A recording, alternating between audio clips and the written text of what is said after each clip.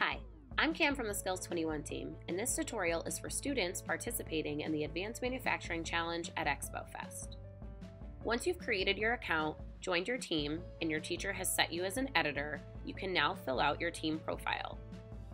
On Launchpad, you'll click on Teams and Films, click on your team, and here is your profile.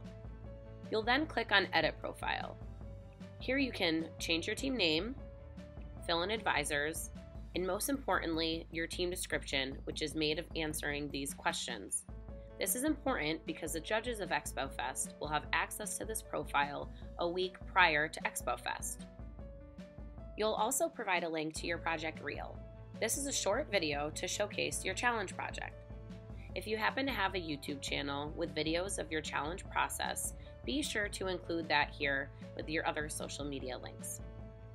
Each time you edit your profile, be sure to hit update. Thanks and good luck.